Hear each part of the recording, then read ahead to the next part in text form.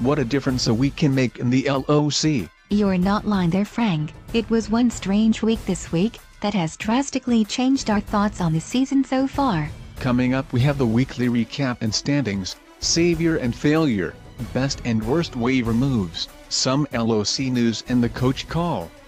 Let's get straight into it.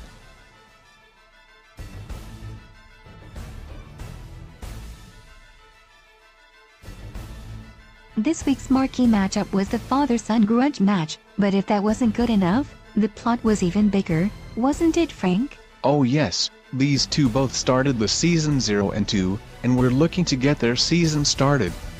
Neither of them could afford to lose. Gridiron Gang had a worrying start, only getting 14 points from two key players on Thursday night, which Bare Necessities quickly caught up to on Sunday. Gridiron Gang started to pull away however, and opened a nice lead.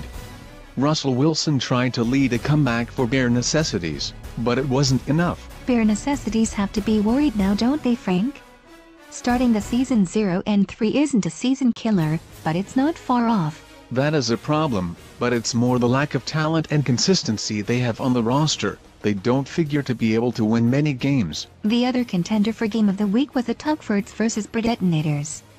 This is a long-term rivalry match, and it didn't disappoint. It was a shootout, but the Tuckfords came out on the better side of it.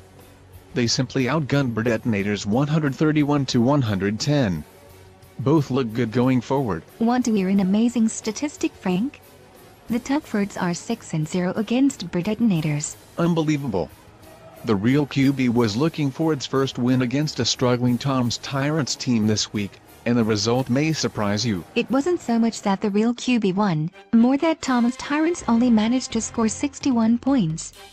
Time to panic Frank? They get a bit of a get-out-of-jail-free card because they are dealing with some injuries, but their starters aren't performing so this might be a trend to follow. The Dream Team took on Ignan in a game that actually proved to be quite interesting in the end.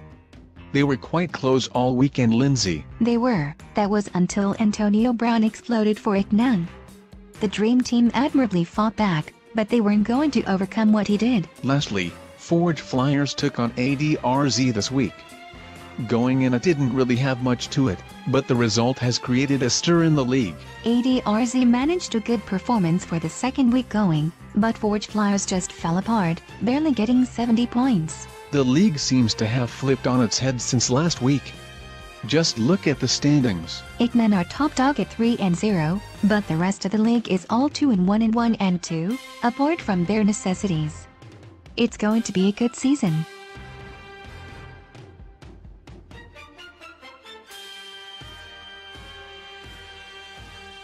Now we have your savior and failure of the week. For the second week in a row, Antonio Brown came up clutch for Ignan and won them the game, this week with no less than 30 points. A monster performance. We go across to the other sideline to find the failures, and it was the Dream Team's wide receivers.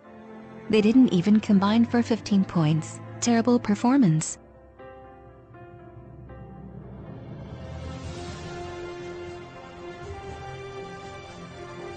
Let's take a look at this week's best and worst waiver moves. My best has to be Bilal Powell by Gridiron Gang. This guy has been great through the first three weeks, and can come in and start for them. Good move. No question, but mine are the defenses added by Gridiron Gang, Tom's Tyrants and ADRZ. These defenses are all primed for monster weeks. My worst is definitely the Tuckfords edition of the Ravens though. They already have two defenses Frank, there is no need for a third. What a waste. Yeah, I agree that's bad, and the third week in a row the Tuckfords have made it on here. Mine goes to ADRZ. You don't need to waiver a kicker, come on.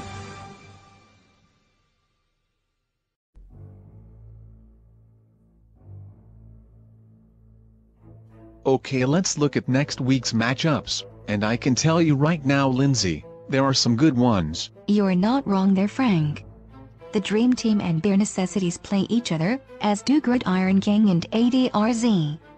Know what they all have in common Frank? I think I know this one. They are all attending the NFL game? That's right, there will be a lot of pride on the line during that trip, and I'm sure a lot of gloating too. The other coach who is making the trip, Coach Burdick of the Predetonators will be squaring off against Forge Flyers. Both teams are coming off a loss, and the winner could take the lead in the division. A game to keep your eye on, Tom's Tyrants will face the Tuckfords, in what is going to be a fierce divisional matchup. Tom's Tyrants can ill afford to keep losing games, so they will be going hard. They are 5 and 2 against them, so they seem to have their number. Let's see if they can defeat them for the sixth time. Lastly, the real QB faces a tough game against Iknan. If Iknan can win this, they could really start to pull away from the rest of the division. If the real QB can win it though, it is going to make both divisions very interesting this season.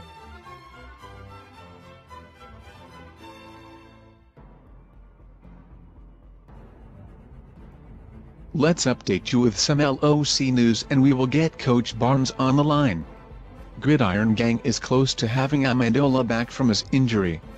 This is a huge plus for them. Forge Flyers are not so lucky though, as it has been reported Steven Jackson could be out until week 7, which is a massive blow to their lineup. Tom's Tyrants could get Gronkowski and Bell back as soon as this weekend, which will be a massive boost for their team, as they are in need of some star players. Tom's Tyrants traded Eli Manning and Tavon Austin to the real QB to secure Colin Kaepernick, obtaining a starting QB they desperately needed. Lastly, the Dream Team should have both Ray Rice and Reggie Bush back for them this weekend. They need them badly, they just aren't the same without them.